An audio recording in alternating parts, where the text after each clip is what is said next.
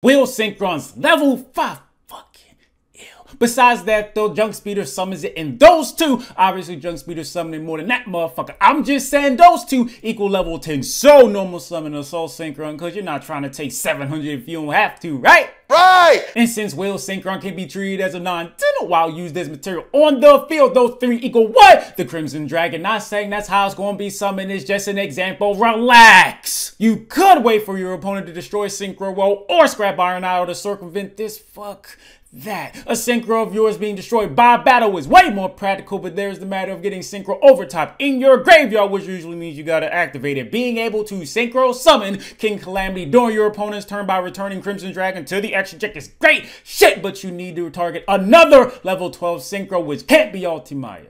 Good luck. Power Tool Synchron, baby! I mean, Revolution Synchron can be used in your hand and Synchro material, so you could use Wheel Synchron on the field as a non-tuner, which equals level 8. Bringing it back as a level 1. Lower Junk Speed is level by 2. Level 3 which equals 12 Crimson Dragon. It's just an example. Like every Cosmic Quasar before it, Cosmic Quasar isn't easy to summon. It only becomes easier to summon.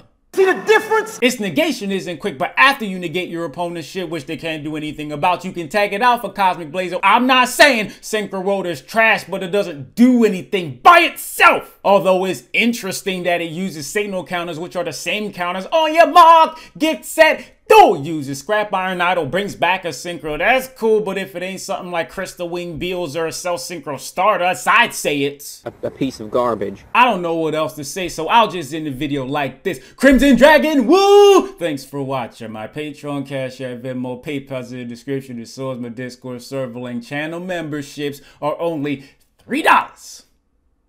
Three of them things?